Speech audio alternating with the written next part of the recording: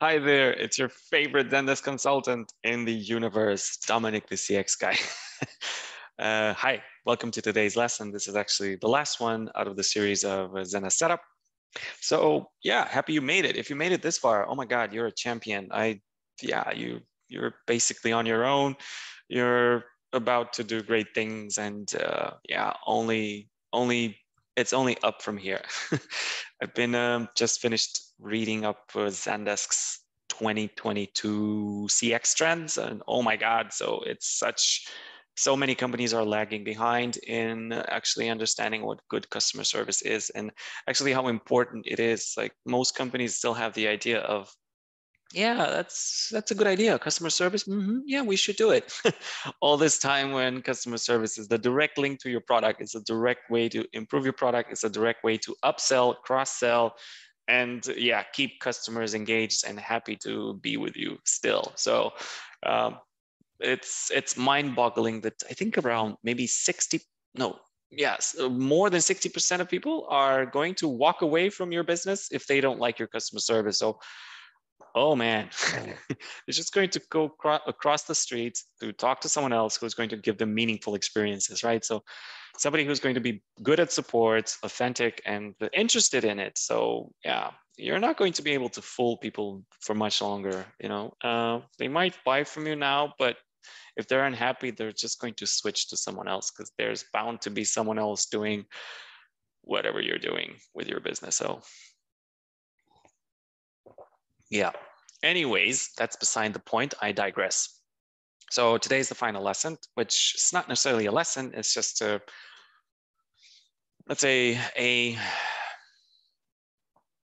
an overview of what we've done and just a list of checkboxes that, according to what your project specs are, where we would go through them one by one and make sure that you have everything set up before you you go live with Zendesk, or not just going live with Zendesk, but yeah, uh, if it's also between, for example, uh, if you've been using Zendesk already, it's just a checklist to see if everything has been set up according to um, the scope of work.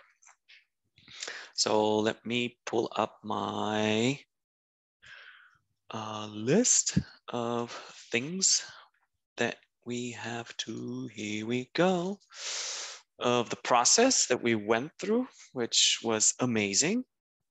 Uh, and I thank you for your attention again. I know this must not have been easy because training videos are boring as hell. but uh, yeah, the more diligent you are, the better results you get. So I, yeah, probably not telling you anything you don't already know. Um, but you know, there's many people who say, "Yeah, I know I shouldn't. I know I should work out. I know I should, I don't know, sleep well. I know I should eat well." But nobody does it. So it's exactly like this in customer service. Everyone knows, like, yeah, I should do these things, but they don't. So, anyways, share screen. Hopefully, you can see it. So this is the list that we've gone through, right? So the very quickly about the process of the Zendesk setup, right? So we have a learn and discovery about your company, what your company does, why it does it the way it does. Um, then we have some homework for you. Then we collect some use cases, business flows, whatever you want to call them. And then we have discovery sessions where we discuss those and we put them into graphics and then we translate them into Zendesk features. After that, we take all of the information and go to the design process where we dive into your Zendesk. A general walkthrough of what you'll be using in Zendesk, people, so customers and agents, tickets, like everything related to uh, collecting data about your customers in order to help them, uh, to help solve their requests uh, then, um, and also productivity, of course.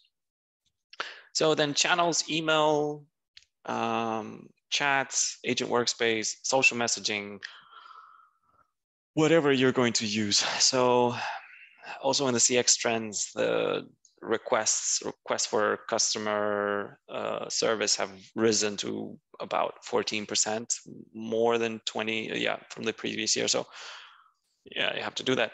And then continuing on the business rules, trigger automations, SLAs, and then yesterday's lesson was on reporting. So let's mark that as done.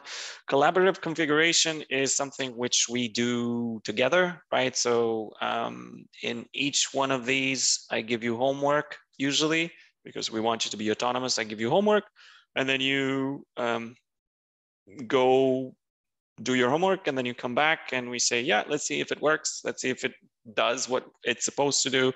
Is it working well? Is it tested? Does it perform the results that it's meant to do, that it's meant to have?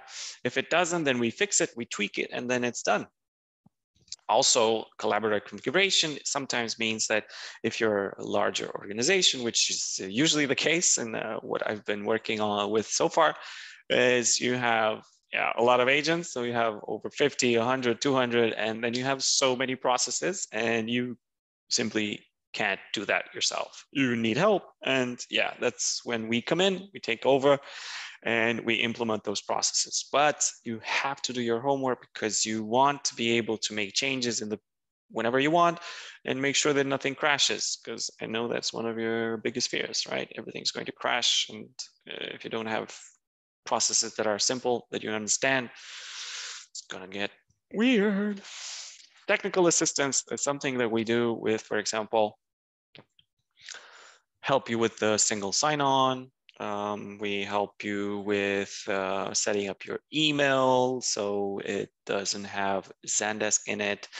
Um, we set up your URL for your support site with the guide so it doesn't say help dot whatever your company name is dot .zendesk.com, right? So it has a more um, unifying customer experience. So users know what they're talking, users know exactly what that is, uh, that your company is seen in the name and not Zendesk, which confuses them technical assistance. Yeah, so that's technical assistance. And there's a few more things, of course, that integration with uh, different services, like uh, with APIs and webhooks and such. Uh, we'll get into that because that's more technical.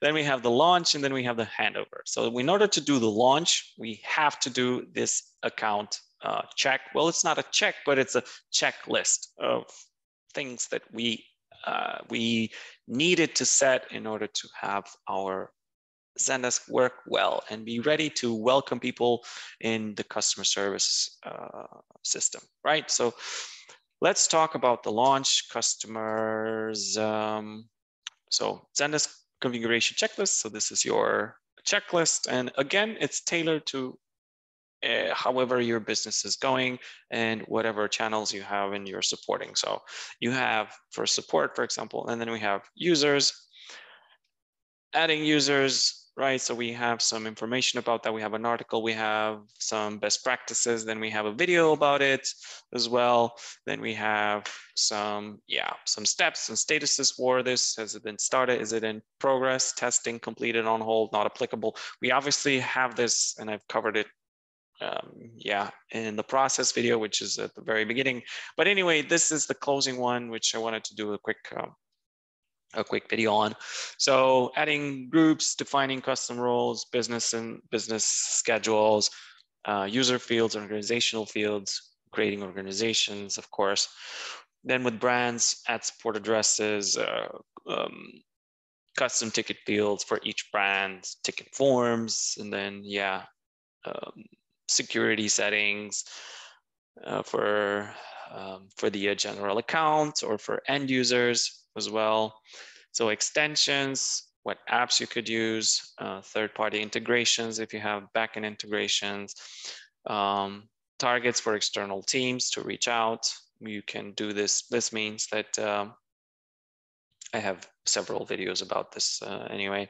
So you set up targets, meaning that uh, if a ticket comes in and it just like you set up a trigger. Um, for example, if a set of conditions are met, then you perform an action, but not in Zendesk, outside of Zendesk. You send an email, you ping an API, you, uh, I don't know, you can even ping, for example, Basecamp or uh, Trello or whatever you want. So it's, uh, you can do so much, so many things. Um, and uh, yeah, I don't want to get into the ins, ins and outs of it right now because that's not important. Yeah, create triggers, create automations, create SLAs, create views, create macros, single sign-on, add agents, train your agents, imports, end users, uh, active email forwarding, uh, set up embed the web widget, set up social media messaging channels, etc., and then the channels that you have. And then for guide as well, the same, you know, checklist of going through things and uh, yeah, making sure everything has been set up. Chats, and then obviously whatever channels that you're supporting um, would follow through here. Okay, so I don't know. That's uh, that's it. This is uh, what I wanted to bring across. It's not like uh, yeah, it's not something you haven't seen so far. It's just um, yeah, something which I wanted you to check back on to and to understand that this would be like a logical, normal process, right? So we'd go over this checklist at the end and say, yep, done or not done, or yeah, why isn't it done? Let's see. And the very nice thing about it is because you have this list, and then you have your business requirements, which you can roll back on and say, hey, you know, we said we wanted to have blah, blah thing. Well, I don't see it in this list. So you done fucked up, dear consultant, which is not ideal, right? So you that, again, business uh, requirements are a way to keep your consultant accountable, right? So yeah, oh, I should make a blog post about this. Hmm. Yeah, definitely have to do it. um, okay, so yeah, that's essentially it. Uh, keeping accountable for what you set out to do, and if it's being achieved, like everything that you are, you have set out to do as a business, and uh, what you're trying to achieve with Zendesk. So obviously, reporting, for example, and uh, having efficient flows is going to only start from here, right? But you at least are on the verge of having like an efficient way to start your customer service system. So I hope this was helpful. I love you. I can't say how much I'm happy that you've done this. And I want you to please subscribe. I want you to please write to me. And uh, yeah, I'll see you around. Bye.